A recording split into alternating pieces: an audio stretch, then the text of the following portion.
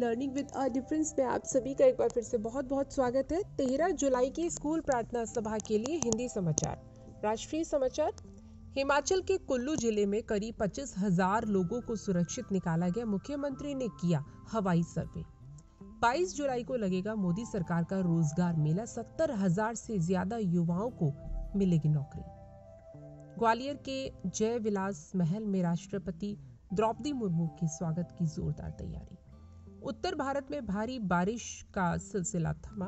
दिल्ली के लिए आईएमडी ने जताया पूर्वानुमान यमुना उफान पर। इंडियन मुजाहिदीन के चार आतंकियों को 10 साल की सजा, एनआईए कोर्ट ने सुनाया फैसला। इंतज़ार न करें, जल्द खाली कर दे घर। निचले इलाकों में रहने वाले लोगों से केजरीवाल की अपील। भारी बारिश से बाढ़ की आशंका, पुलिस ने यमुना पार खेतों में रह रहे नब्बे लोगों का किया रेस्क्यू। पीएम मोदी का 13 से 15 जुलाई तक फ्रांस दौरा, बेस्टल डे परेड में होंगे मुख्य अतिथि।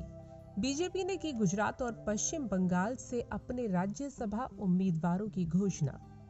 अब तक के इतिहास में इससे ज़्यादा कभी नहीं उफनी यमुना, जल स्तर, सर्वकालिक ऊंचाई पर। चंद्रयान थ्री की लॉन्चिंग को लेकर इसरो ने की पूरी तैयारी। फ्रांस बेस्टल दिवस समारोह में पीएम मोदी होंगे विशिष्ट अतिथि। भारत की तीनों सेनाओं की टुकड़ी भी लेगी हिस्सा। अंतर्राष्ट्रीय समाचार। नेपाल में सत्तारूढ़ सीपीएन माओइस्ट सेंटर के नेता भारत यात्रा पर आने वाले हैं। स्वीडन ने अपने पड़ोसी फिनलैंड के रास्ते पर चलते हुए नेटो की सदस्यता लेने की ओर कदम बढ़ा दिए। समाचार खेल संबंधित। विंडीज के खिलाफ शुरू हुए पहले टेस्ट से जायसवाल के साथ साथ ईशान किशन ने भी करियर का आगाज़ किया। West Indies versus India 2023 Ishant Sharma करेंगे कमेंट्री करियर का आगाज़। भारत और पाकिस्तान के बीच एशिया कप मैच श्रीलंका में होंगे, इसे लेकर अब सब साफ़ हो गया है। एशिया कप 2023 बीसीसीआई पीसीबी की बैठक से पहले एशिया कप के कार्यक्रम को दिया गया अंतिम रूप। समाचार बिज़नेस संबंधित। जून में खुदरा महँगाई दर मई के चार दशमलव इकतीस प्रतिशत से बढ़कर चार दशमलव इक्यासी फ़ीसदी हुई।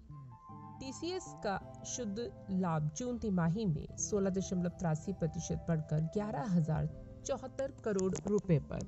तीन दिन की तेज़ी के बाद शेयर बाज़ार गिरावट के साथ बंद, सेंसेक्स 224 अंक टूटा। विप्रो अपने कर्मचारियों को एआई का प्रशिक्षण देने पर एक अरब डॉलर खर्च करेगी। यात्री वाहनों की थोक बिक्री जून में दो प्रतिशत बढ़ी, सियाम। शुरुआती कारोबार में अमेरिकी डॉलर के मुकाबले रुपया सोलह पैसे चढ़कर बयासी दशमलव पच्चीस पर। समाचार में बस इतना ही, धन्यवाद।